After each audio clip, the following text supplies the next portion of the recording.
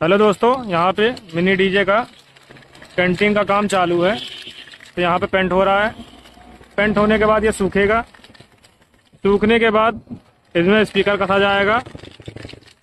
तो आप लोग वीडियो में